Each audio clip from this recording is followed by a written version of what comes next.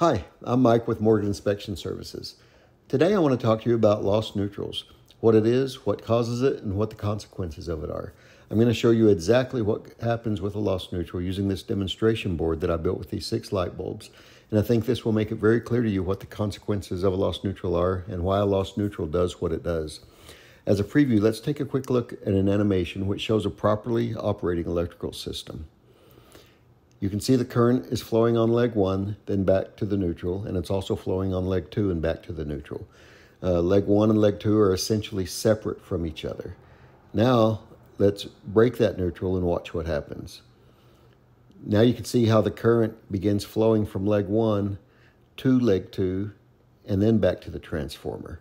So it reverse directions on the second half of the circuit or on leg two.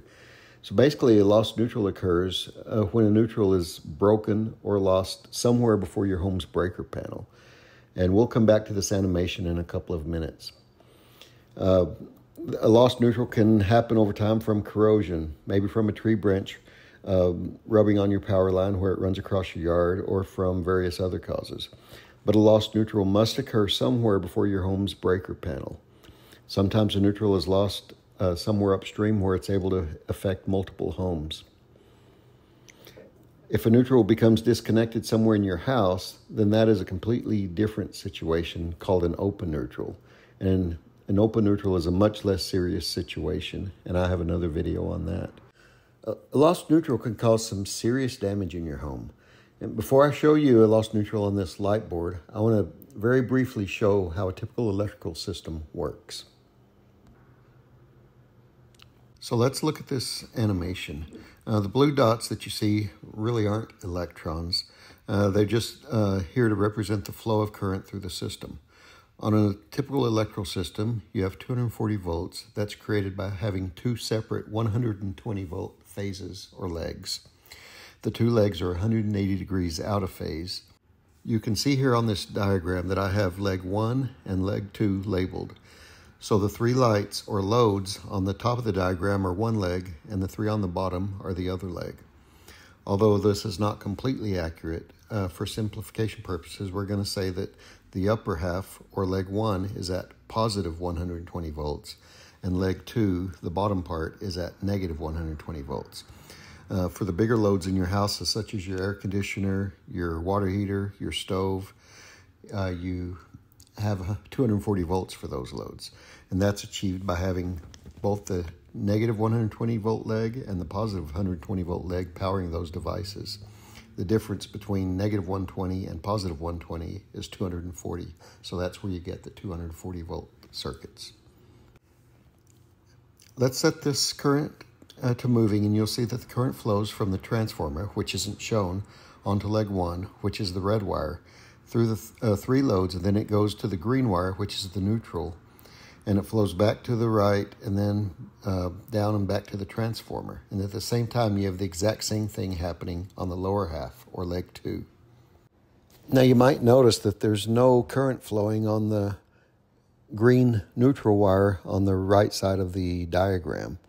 This is because you have balanced loads on each leg and since they're 180 degrees out of phase, the currents basically cancel each other out, and you have no current flowing on the neutral wire when the loads are perfectly balanced.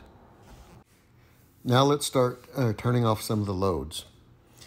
You'll see the voltage written over there to the left, and it doesn't matter how many loads are turned off, the voltage remains at about 120 volts, regardless of how many loads are being supplied by the leg. And this is because all the loads on leg one are in parallel with each other, and all the loads on leg two are in parallel with each other. You'll also notice that once the loads are turned off, the two legs are no longer balanced. So you also begin to see some current flowing on the neutral wire on the right side of the diagram. Okay, let's go back to the light board now. This light board is essentially the same thing as the animation that you just saw. You have two legs. Leg one is on the left and leg two is on the right. I've powered this light board uh, by running a, a wire uh, to my oven outlet in the kitchen uh, so that I could have 240 volts to the board. Uh, so again, one leg, as you can see down here, is about 120 volts, and leg two on this meter is also at about 120 volts. It doesn't matter if I turn off some of these lights. Since the loads are in parallel, the voltage doesn't change. Uh, regardless of how many lights or loads are turned off, the voltage remains the same. Because the neutral wire acts as the anchor point of the electrical system, and because all the loads on each leg are in parallel with each other, the voltage remains constant at about 120 volts. Now let's talk about a lost neutral. I'm going to show it on this light board, but first, let's go back to the animation so you can see what's happening. Look at the neutral wire. You can see that I've simulated it being broken. It has the red X. The anchor for the electrical system is now gone. Now what you have are the two legs of the electrical system in series with one another. The total voltage on the system is 240 volts, the difference between positive 120 and negative 120. You can see that the current starts flowing on leg one flows along the red wire to each of the loads and through the loads. And then it goes to the green neutral wire. And instead of turning right uh, where it meets uh, the neutral wire from leg two, it now continues down the green wire, flows to the three loads on the other leg, and it goes through those loads, then onto the black wire, which is the hot wire for leg two. And from there, it flows back out to the transformer. So what you have are leg 1 and leg 2 in series with one another in a 240 volt circuit. Now look over to the left. It shows that both legs are still at 120 volts. So what's so bad about a lost neutral, you might ask? You're still at 120 volts on each leg, but the only reason you're at 120 volts on each leg is because the two legs are perfectly balanced. You have the same load on each leg, but how often do you think you'll have a perfectly balanced system in your house? Okay, so let's go back to the light board. I'm going to create or simulate a lost neutral by disconnecting this wire here. You can see that the two neutrals uh, for the two legs are still twisted together. You just don't have a neutral that would go back to the transformer any longer. Now what I'm doing here is a little bit dangerous because I do have live exposed wires. So I would recommend you not try this and I will try to be careful. So now on this light board, we have a lost neutral. However, at the current time, we have balanced loads on each leg. We've got three light bulbs burning on each side, and the voltages are still constant, about 122 and 123 volts on the two legs. So right now, it seems to be working just like normal. But in fact, things are very far from normal. And what we have, as I showed in the animation, is the electricity is coming up from the hot leg here, running up through these lights, back down through the neutral, and at the connection of the two neutrals, instead of flowing back out to the transformer, it flows over to the second leg on the neutral, up to these three loads, then back down on the hot wire, and then back out, theoretically, to the transformer. So again, like we showed in the animation, what you have are these 220 volt legs in series, creating a 240 volt circuit. If this lost neutral occurs on your house, then every light and appliance in your home is now running on a 240 volt circuit. Again, in this demonstration right now, it's acting like normal because we have balanced loads. But let's watch what happens when the loads become unbalanced. Let's turn off this light and see what happens. Because you only have two lights here, your resistance is now higher. And since voltage is proportional to resistance, your voltage on this side is also going to be higher. Uh, you can see here that you have 173 volts on this side and about 71 volts on the other side. That's still a total of 244 volts, but the majority of the voltage is on this side now. Let's look really quick at the animation. You can see here basically the same thing that we already saw with the actual lights.